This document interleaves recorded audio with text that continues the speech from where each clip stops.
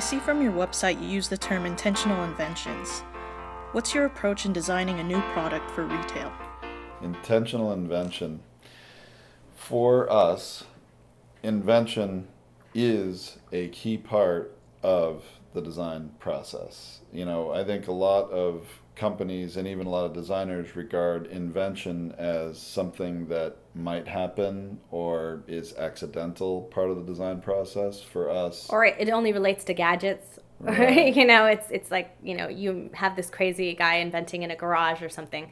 That's not what we're talking about here. What we right. we're talking about invention as being what's novel, what's innovative and new about what we're designing. So it, it, it, could be something small, it could be a feature that's invented, it could be something big, it could be a whole product that is disruptive that you've never thought of before.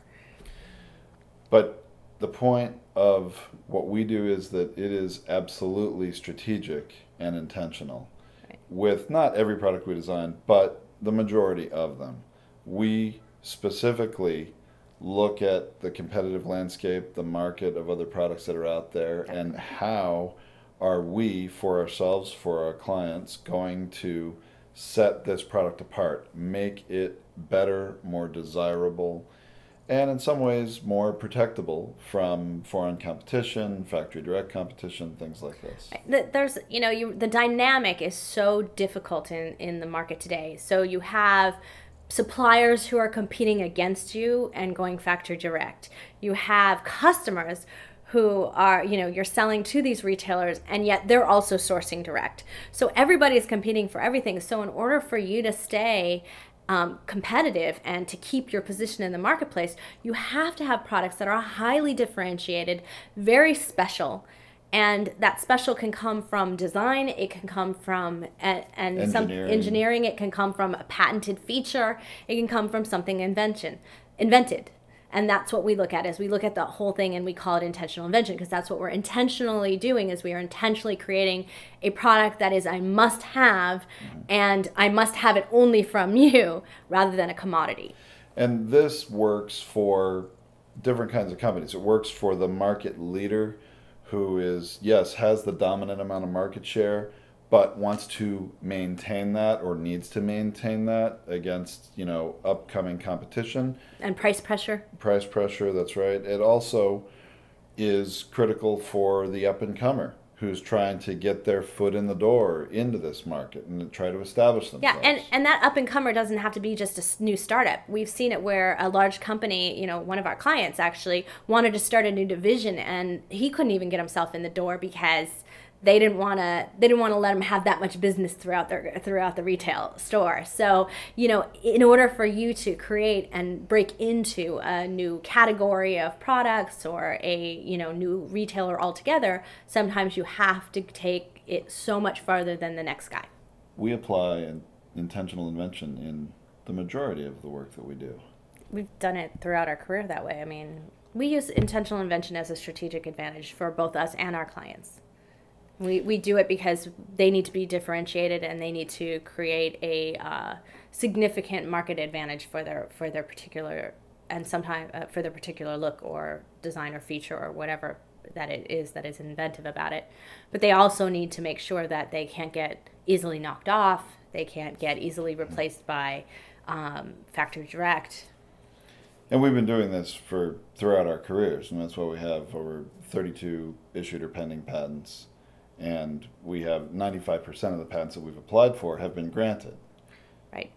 We, um, we also have, you know, at this stage we have 81% uh, commercialization rate, meaning 81% of the of those 32 patents have been uh, commercialized, turned into product and the, it's actually kind of low for us because that it's mm. not realistic because uh, six of them we just invented. So we haven't had a chance to like well, commercialize just, them yet. we so just filed them we just right, filed right. them. So they'll be commercialized. If we don't commercialize them in a year i'd be surprised.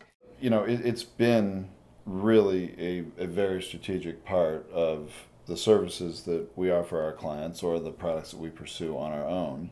And not only have we commercialized them um, some we've licensed some we've sold and some we've licensed and sold multiple times, in right. fact. Um, so it, it is a key, critical part of business. Right. I mean, and it, and part of it is is something that you had said earlier, and that is that there are you know three types of people who can take advantage mm-hmm. of it. Mm-hmm. So you can have the corporation who is looking to create a corporate asset level. So in other words, this just happened to us recently. Right. We had a client, and we we gave them almost almost a dozen patents, mm-hmm. and then they got acquired.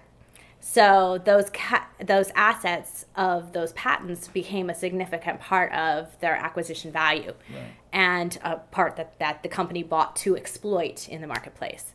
And so, you know, that's that's one way to look at it. So it helps prep you for you may your exit entry exit exit strategy, strategy, you know. But it also for a market leader and who needs to sort of strengthen their their foothold on a market or further try to be the dominant player and corner that market, uh, it gives them a better defensive position to do that. Yeah, we just did that last year, and it was a really good example of it. Is that you know, there was all this litigation going on around um, around a specific uh, feature, and um, and what we did was we developed three other patentable features that were ways around that. So it strengthened a patent.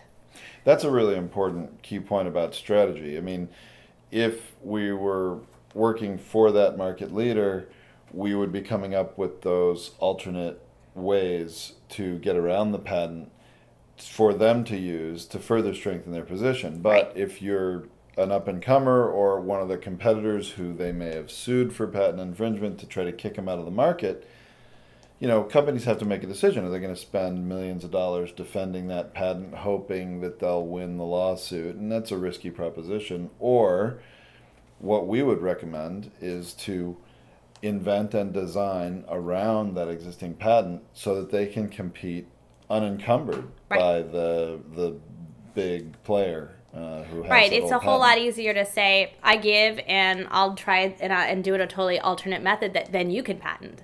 So, um, you know, and, and I think some of those three that we designed are actually lower cost. So in the end, they were right. actually beneficial. So they're, you know, it's not just a, a defensive strategy. And you know, a lot of companies think that invention is something that is accidental, or if they end up developing a product that's patentable, that that they were lucky. Right. Uh, that it's not something you can actually set out a goal to develop a product that is um, not only patentable but has a meaningful patent to protect it, and and that's really just not true. You absolutely can make that a goal, set it out, and go and do it. Yeah, and I mean, we set out. yeah, we times. set out that we we plan to do ten inventions this year. And we filed six. We filed six so far. So, so we're halfway through the yeah, year. Yeah, we're in perfect timing to do it. Maybe we'll take Christmas off.